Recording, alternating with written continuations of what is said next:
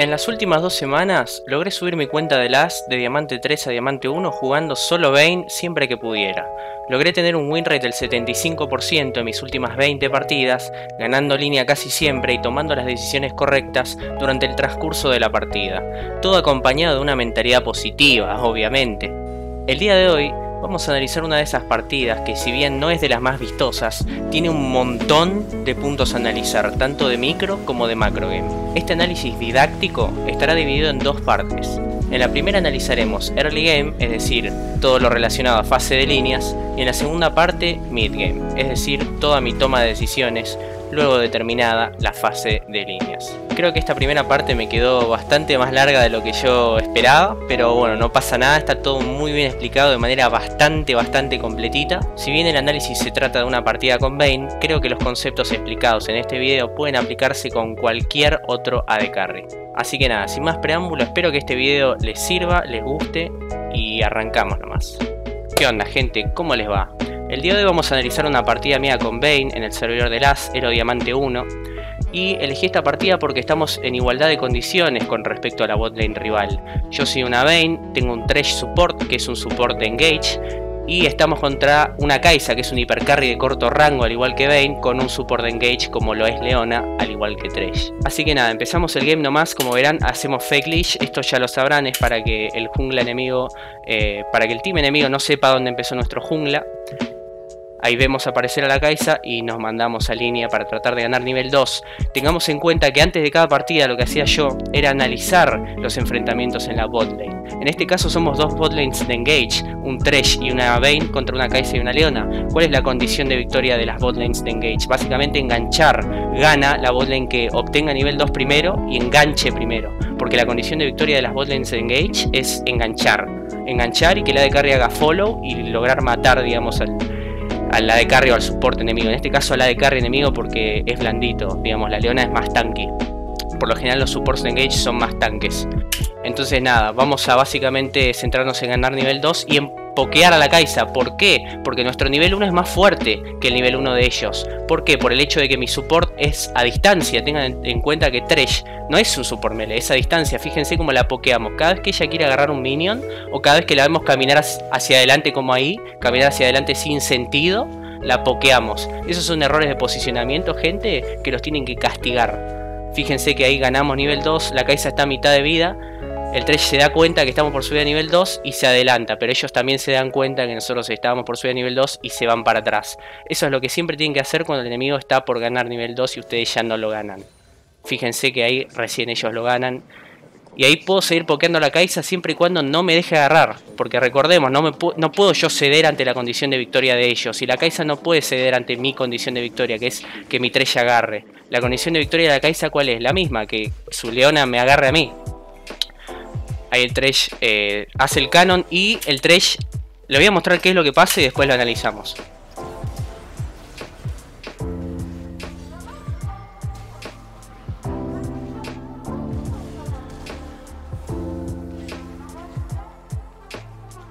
Ok, asesinato doble. Bien, gente, ahí pasaron un montón de cosas que me llevaron a mí a llevarme ese asesinato doble. Vamos a analizar una por una esas cosas.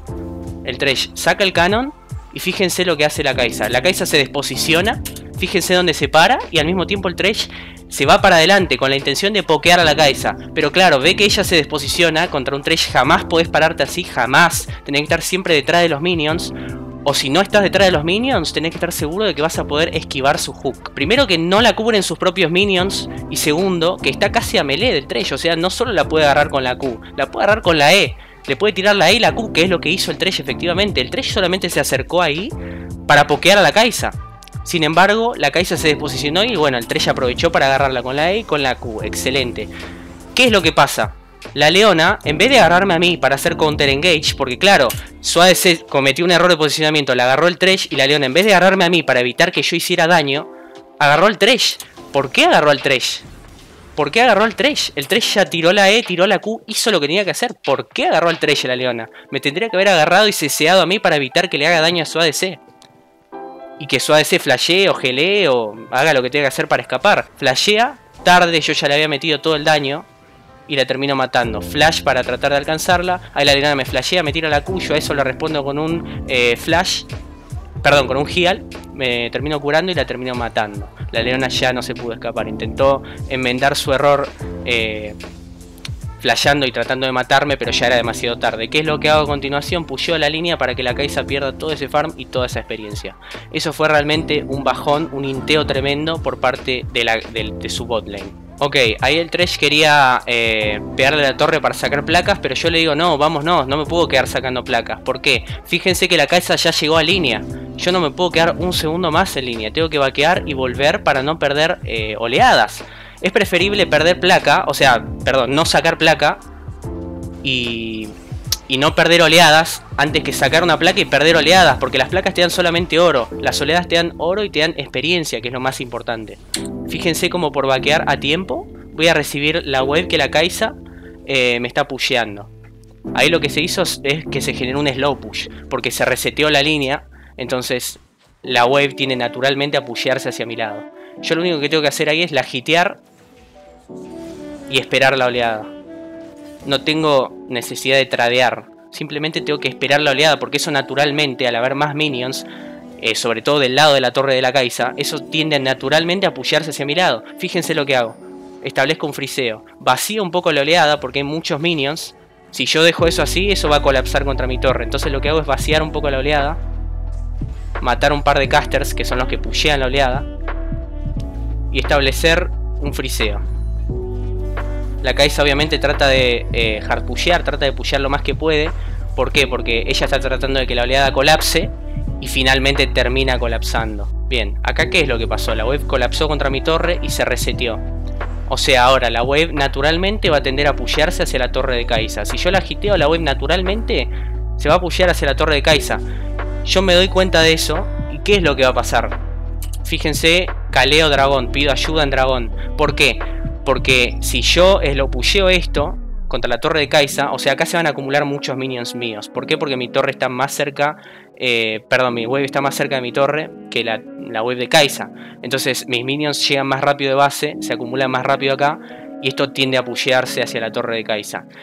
Sabiendo eso, yo fíjense como pingueo dragón, pingueo ayuda al Olaf, porque dentro de los próximos segundos se va a producir un slow push, voy a tener prioridad de bot y gracias a esa prioridad de bot el Olaf va a poder sacar dragón. Y todo eso gracias a ese slow push, fíjense, gracias a tener un conocimiento básico de control de oleadas. Yo simplemente la agiteo, sé que naturalmente la web va a tender a apoyarse hacia la, hacia la torre de Kaisa. Fíjense cómo se acumularon un montón de casters de mi lado que van a matar rápidamente a la wave eh, de la Kaisa. O sea, se va a pushear. Y ahí empiezo a apurar el pusheo porque el Olaf ya está en dragón. Y tengo que ir a ayudarlo. O sea, ahí genera un slow push y gracias a ese slow push sacamos Drake. Al principio pensaba ir, pero como el Olaf se lo estaba haciendo relativamente fácil, la botlane no podía rotar, eh, el Thresh vi que estaba rotando hacia el dragón, dejé que lo ayude el Thresh. Yo me quedo en línea farmeando, Obviamente sin dejar que la leona me agarre, porque si la leona me agarra eh, probablemente pueda estar en problemas. Pero bueno, no intenta agarrarme ni nada y ahora mi objetivo es terminar de colapsar la web contra la torre de la Kaisa. ¿Para qué? Para resetearla. Yo no puedo dejar que la Kaisa establezca un friseo ahí. Entonces pusheo. De nuevo, la web se resetea. Ahora mismo, lo mismo de siempre. La web va a tender a pushearse hacia mi lado. Fíjense cómo la Kaisa está cometiendo un error que es hardpushear. Ella lo único que tiene que hacer es la hitear. La hiteando haces que la web actúe lo más natural posible si vos la hiteás. Y acá, gente, quiero remarcar el error de la Kaisa. Fíjense lo que hace. Me harpullean y se van para atrás. Y yo ahí presiento que vaquearon, que vaquearon y que vaquearon mal. Eso fue un error, pero craso, un error gravísimo. No podés no colapsar la wave, dejármela así y vaquear. Fíjense lo que voy a hacer yo ahora. Yo presiento que ella vaqueó. Porque se fue para atrás, o sea, tiró todo lo que tenía, harpulleó y se fue para atrás. O sea, claramente quería comprar. Entonces vaqueó. ¿Qué es lo que hago yo con mi trash? Puleamos, holdeamos ahí un toque la wave, tanqueamos un poco. Esperamos a que mi wave vuelva de base. La vaciamos un poco. Y vaqueamos. Ahí le marco para que vaquee y vaqueamos. Y fíjense cómo dejamos la wave. Bien. Acá, gente, Esto va a tender a frisearse, es decir, a congelarse acá. No se va a apoyar ni para mi lado ni para el otro. ¿Por qué? Porque hay superioridad de minions rivales, inferioridad de mis minions. Sin embargo, los minions rivales están lejos de tu torre. Van a tardar más en recibir refuerzos de base. En cambio, mis minions van a recibir, si bien están en inferioridad numérica, van a recibir refuerzos de base más rápido que la, que la web rival. Entonces, ¿qué es lo que va a pasar acá? Esto se va a frisear, se va a mantener acá. ¿Y qué es lo que va a pasar con mis minions? Como hay más minions rivales que míos, mis minions van a morir a manos de los minions rivales. Es decir, la Kaisa va a perder esta web. La oleada se va a frisear acá. Yo cuando llegue voy a tener la oleada en este mismo lugar. Y la Kaisa se va a ver obligada a jugar más adelantado. Entonces se va a ver expuesta a ganks. Y todo esto, gente, por no haber vaqueado correctamente. La Kaisa lo que hizo fue básicamente darme la oportunidad de frisear. O sea, en vez de terminar de pushear, en vez de colapsar los minions contra mi torre. Le pasó básicamente por ignorar completamente eh, lo que es control de oleadas. Fíjense cómo llego a línea y tengo la oleada exactamente en el mismo lugar donde quedó. Fíjense todos los minions que tengo para farmear. Fíjense que la Kaisa perdió el canon, perdió los tres minions melee, que son los que más oro dan y yo si bien la oleada finalmente termina colapsando, no totalmente, ahí van a ver. Fíjense que el Tresh usa la E para alejar un poco la, web de la torre. La Kai se intenta que la web choque contra mi torre.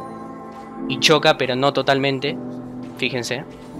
Chocan esos dos minions, estos dos. Pero no chocan estos dos minions. Entonces, ¿qué es lo que va a pasar con estos dos creeps? Estos dos creeps van a actuar de escudo contra esta web. Esta web se va a ver ralentizada por la presencia de estos dos creeps. Como resultado, esta web con la web rival se van a cruzar más de este lado, o sea, más cerca de mi torre, que más cerca de la torre rival. Entonces el ADC enemigo se va a ver obligado a jugar cerca eh, de mi torre, más cerca de mi torre y más lejos de la de él. Lo cual la va a dejar expuesta a ganks, a la cabeza. Fíjense. Yo ahí continúo la hiteando, no quiero apurar el pusheo de la torre, o de perdón, de la web. O sea, a mí me conviene que la Kaisa esté jugando adelantada. Es más, fíjense lo que hace la Kaisa. Lo mismo, ¿por qué está pusheando la Kaisa? Le está pegando a los minions. ¿Por qué le está pegando a los minions? ¿Por qué? O sea, ¿con qué objetivo? Ahí se dan cuenta que la Kaisa no es un jugador muy pensante. ¿Por qué le estaba pegando a los creeps? ¿Con qué objetivo? Fíjense, la leona se lo farmea con el Targon. ¿Por qué? Y yo simplemente, o sea, de nuevo me está dando la posibilidad de que yo frisee cerca de mi torre está generando superioridad numérica de sus minions con respecto a los míos más cerca de mi torre. Me está dando la posibilidad de frisear. Básicamente se está perdiendo línea sola. Y fíjense lo que va a pasar a continuación. Exactamente, están viendo el mapa, va a venir el Olaf.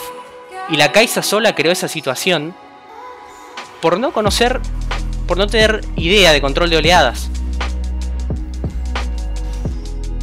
Hook eh, a la leona y ahí van a ver todo lo que va a pasar después lo vamos a analizar.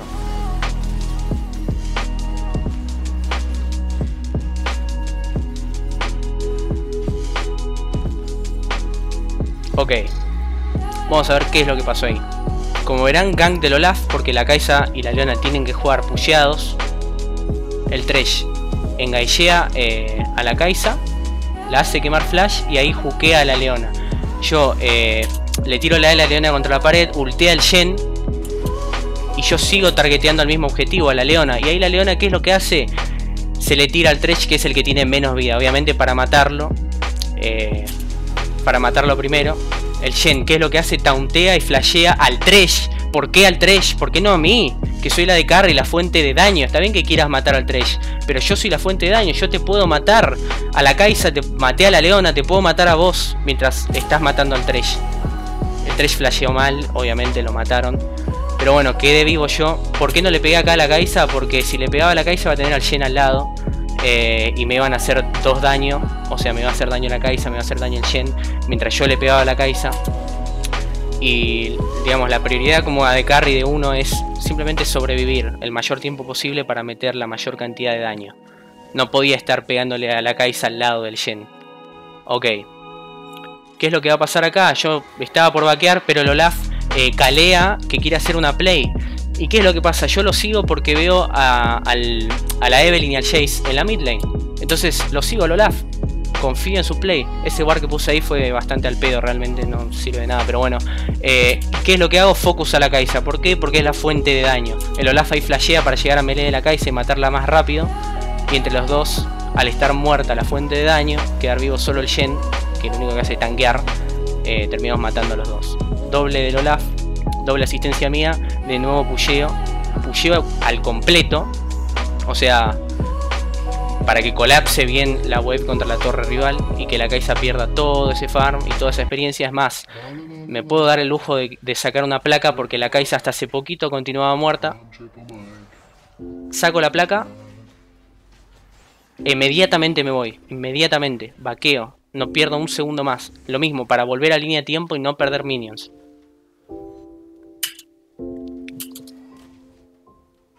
El Thresh, mientras tanto, mientras yo vaqueo, aprovecha para eh, activar la plantita de visión en Río para eh, tratar de sacar alguna jugada en medio, que es lo que hacen los supports eh, de Engage. Tratan de, en los tiempos muertos, ir a sacar jugadas en medio.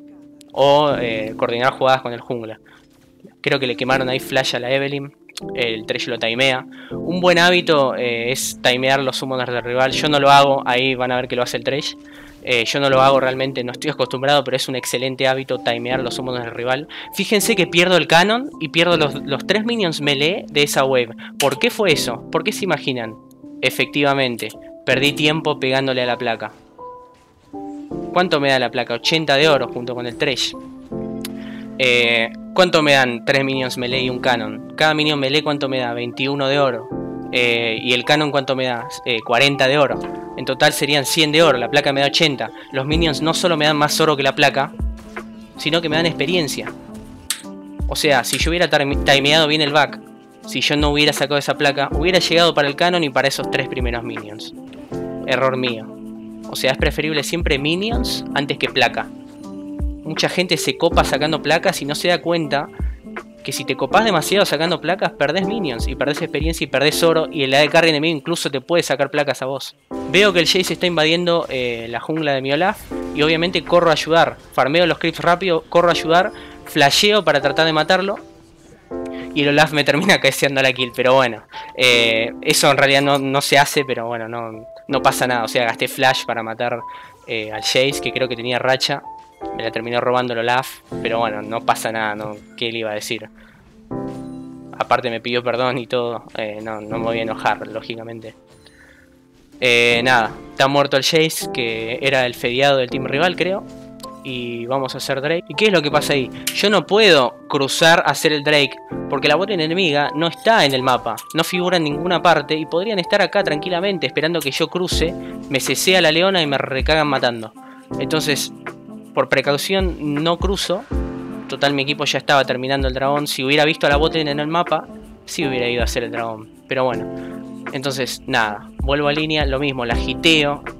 No hay por qué pushear. Siempre que vos pusheás o tomás alguna decisión en cuanto a macro, eh, pusheás, friseás. Pregúntate por qué. ¿Por qué estoy pusheando ahora mismo? ¿Por qué estoy friseando? Pregúntate. No lo hagas a ciegas como la Kaisa, porque te van a pasar las mismas cosas que ella. Bueno, ahí el Trash pudo haber tanqueado la W de, de Kaisa para que no se lleve el canon, pero bueno, no pasa nada, no, voy a estar remarcando ese tipo de errores. Lo mismo, la giteo, fíjense como la Kaisa me pushea una y otra vez. Una y otra vez y su support la ayuda. Me da una y otra vez la oportunidad de frisear. Y se expone una y otra vez a que mi jungla lo ganque. Si el Olaf estuviera bot, yo ahí friseo, la Kaisa se tiene que adelantar, el Olaf cae y la matamos de vuelta, la reventamos. Fíjense lo mismo, establezco un friseo, y ahí paso de friseo a harpushear. ¿Por qué? Porque veo a su botlane rotando hacia medio, la Evelyn tiró heraldo en medio. Entonces lo que hago es rápidamente pushear. Yo tengo que contestar eh, a eso, digamos. No puedo quedarme friseando. Tengo que por lo menos tratar de tirar torre, por lo menos sacar placas, algo. ¿Qué es lo que, lo que hago en vez de rotar con mi trash? Ahí Loriana se murió lo que hago es sacar placas. Me pingué a mi team para que rote yo también, pero ya era tarde, o sea, yo ya estaba pusheando, estaba sacando placas, me estaba fedeando yo mismo, saqué la placa yo solo, saqué dos waves enteras yo solo. Eh, fue una decisión egoísta que no está ni bien ni mal, podría haber rotado también en medio. Podría haber rotado, podría haber sacado una play con Tresh, ahí el Tresh se murió como verán. Probablemente el Tresh no hubiera muerto si yo hubiera estado ahí. Podría pasar también que me agarren a mí me maten y me quiten la racha. Podrían haber pasado mil cosas. Son simplemente decisiones que. decisiones diferentes. El Olaf ahí se queja de que, bueno, no rotamos. Eh, pero bueno, yo estoy tranquilo, o sea, yo la jugué bien, yo pushé, eh, logré sacar placas, logré sacar dos oleadas enteras, le llevo dos niveles a la Kaisa, ahí recién la Kaisa sube nivel. No tengo por qué amargarme, o sea, yo estoy jugando bien, estoy jugando clean. No tengo por qué amargarme. Que mi mid laner sea un choto, que mi mid laner pierda 1v1 contra el Jace, o que se haya muerto y por eso le hayan sacado torre, no es mi culpa realmente, no está en mis manos. Hay cosas que no están en las manos de uno. No podés amargarte por eso. Si me hubiera amargado, si hubiera rotado y me hubieran matado en medio. Sin embargo, me quedé en bot a jugarla seguro, a sacar oro, a sacar experiencia, a hacerle perder una wave a la Kaisa. O dos, creo que perdió dos waves la Kaisa. Y nada, yo continúo escalando, continúo sacando farm experiencia, lo mismo, la agiteo para tratar de ralentizar el pusheo. No tengo por qué pushear, ¿por qué pushearía ahí? Así que nada, la bot enemiga no está en el mapa, probablemente esté en base, camino a bot, mi top y mi jungla están peleando, fíjense, no está en mis manos de vuelta, no está en mis manos, no me interesa a mí. La leona está rotando, mi Thresh rota también, fíjense cómo rotan los dos supports al mismo tiempo, para ver quién llega primero. Y la Kaisa probablemente esté en botlane, efectivamente, ahí apareció la Kaisa. ¿Qué es lo que hago? La agarro y la intento alinear. ¿Por qué? Porque tengo ventaja en ítems y en summoners. La mataba, sin embargo no conté con que ella eh, y justo me fui para atrás pensando que la mataba, pero bueno, Heliois logró escaparse, no importa. Eh, lo mismo, fue casi igual que matarla. Fíjense cómo ella va a perder todo ese farm y experiencia. Yo le voy a tirar torre y le voy a pushear hasta la segunda torre. Así que nada, gente, hasta acá llegamos con esta primera parte. Espero que les haya gustado y que les sirva. Eh, estaré subiendo la próxima parte estos días, así que nada, me despido, gente. Soy White Wolf y nos vemos en el próximo video. Hasta luego.